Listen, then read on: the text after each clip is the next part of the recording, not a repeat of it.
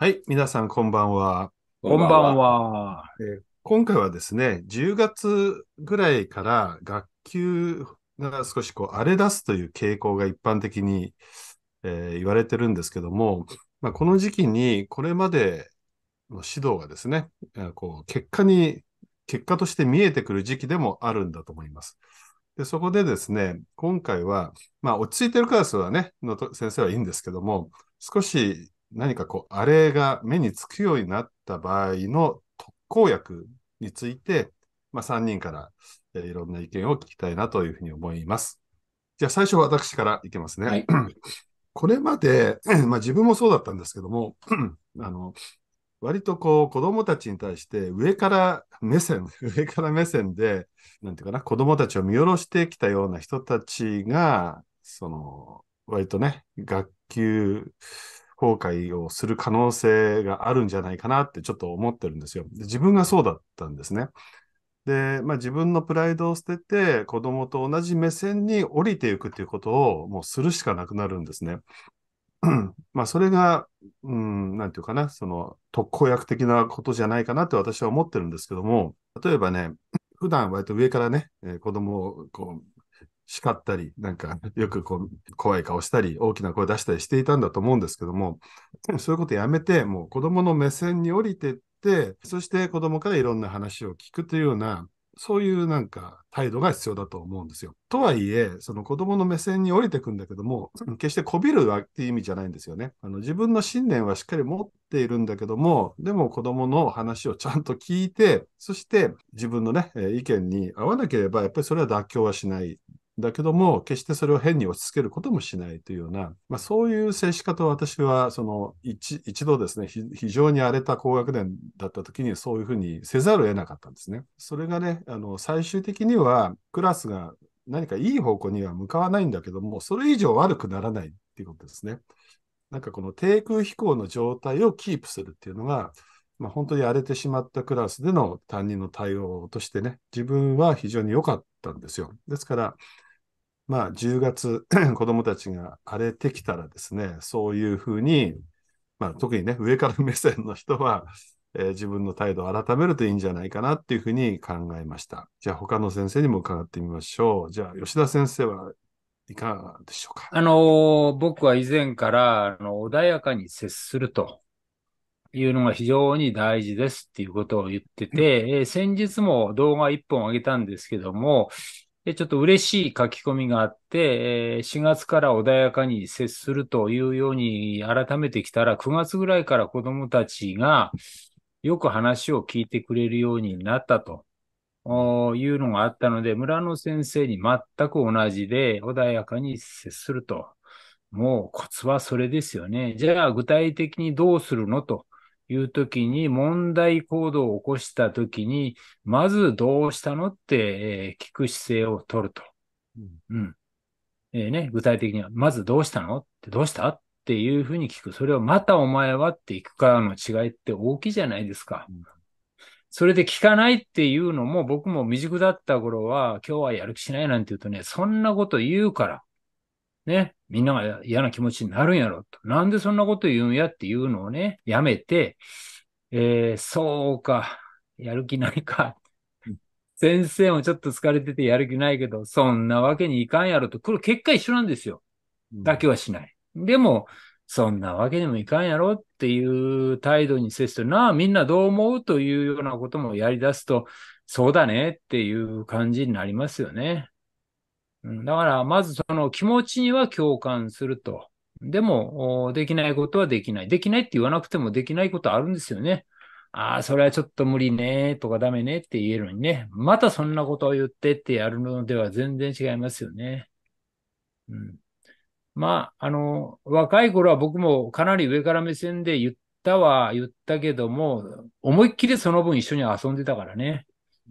うん休み時間になるともう子供モードに入ってたから、その点は子供も許してくれたんでしょうが、年を追いにつれてもそういうことはできなかったのでね。うん、と思いますね。はい。確かにそうですね。私も本当に、そのちょうど子供たちとあんまり遊べなくなった時期でしたね。そういえばね。うん、はい。ありがとうございました。やっぱり共感が必要ということですね。じゃあ、水野先生はいかがでしょうか？はい。10月と11月って割と大きな行事がなくて、もう授業がずっと連続するんですよね。週の予定表を見たら、もうず、何にもないから、あの、時間割埋めるのに、主要教科で全部埋めなきゃいけない。え、国語が2時間も入れなきゃなんないとかね。もう、授業、授業、授業、授業、授業って、そうなるとですね、授業に変化つけることをしないと、もうマンネリ化しちゃうんですよね。ですから、優れた、特効薬ということであれば、優れた授業を追試するってことですね。えーいつもの授業じゃなくて、もう有名な授業とかね、あの、あるいは、あの、うまくいった実践ってトスランドにいっぱいアップしてますから、トスランド検索して、自分あ学年とか教科ごとに検索できますから、あ、これやってみたいなと思ったのをクラスでやってみる。そうすると、あの、反応が、子供たちがいつもと違いますからね。あの、教師も、あの、変刺激をもらえますしねうん。特効薬なんじゃないかなと思います。うんなんかその、す私の経験で言うとね、その、やっぱりある子が突然バーンってこう切れたんですよ。で、それに動揺して、その他の子供たちへの対応がこう変わってしまわないようにしたんですよね。その子に対しては変わりましたけど、他の子に対してはあまり変えないでやったんですけど、それはどうでしょうね。まあ、結果的にそれでなんとかなったんですけども、うん。まあ、あの、それに関して言えば、やはり、うんなんていうのかな。そういうバーンと来る子に、ほら、いい言葉あるじゃないですか。同じ土俵に立たないと。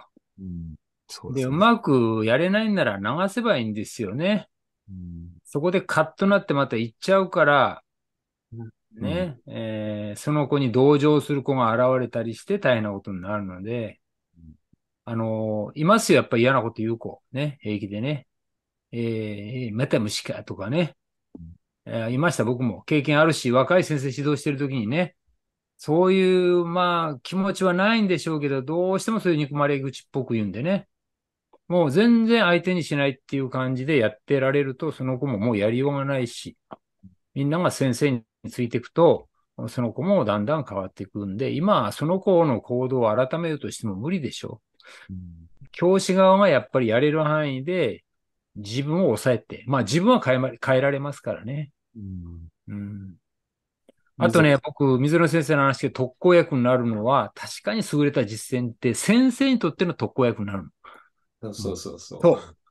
あ、そうか、こうやればいいのかっていうひらめきがね、絶対あるし、これやってみたいっていうようなのが入ってくると、先生にとっての特効薬になると思いますね。はい。あと、その、荒れた子が出る前に先手ですね。その、いい授業の中で、その、そういう子を活躍させて先手を打つ。まあでも、その、トスランドに出てるいい授業っていうのも、まあ、毎日毎日すべての時間追試できないので、はいはいはい。で、そういうところはちょっと難しさもあるとは思うんですけどね。ね、でもね、ほら、研究会なんかももう最近は出られるでしょ？うん僕、有田先生の講演会追っかけやってった時にね、その、僕はいいと思ったらすぐその、その次の日にやると。時間に関係なくやると。うん。で、そういう感覚大事にしてほしいよね。それはそのまま変化にならない？見てきた、あれやってみたいと思ったら、進度をとにかく無視してやっちゃうと。うまくいかないかもしれないけども、少なくともそ、その時って先生、テンション上がってるじゃない。